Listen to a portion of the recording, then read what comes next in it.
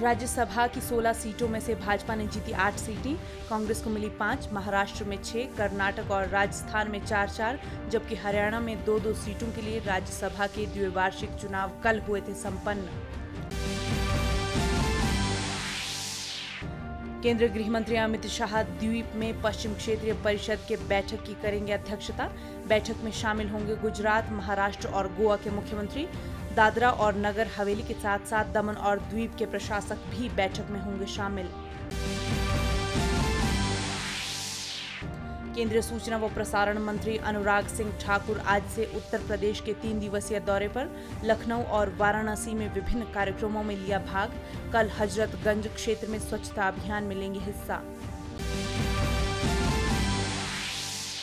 देश में कोरोना मामलों में लगातार बढ़ोतरी जारी।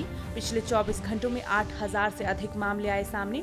दैनिक पॉजिटिविटी रेट दो दशमलव चार एक प्रतिशत हुई दर्ज।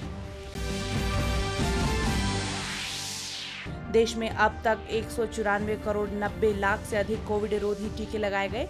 12 से 14 वर्ष आयु वर्ग के बच्चों को लग चुके हैं 5 करोड़ 41 लाख से अधिक टीके।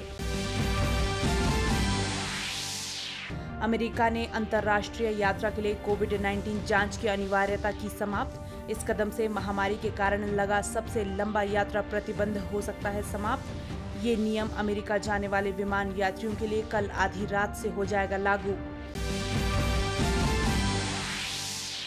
आर्थिक संकट से जूझ रहे श्रीलंका को भारत ने दी बड़ी राहत।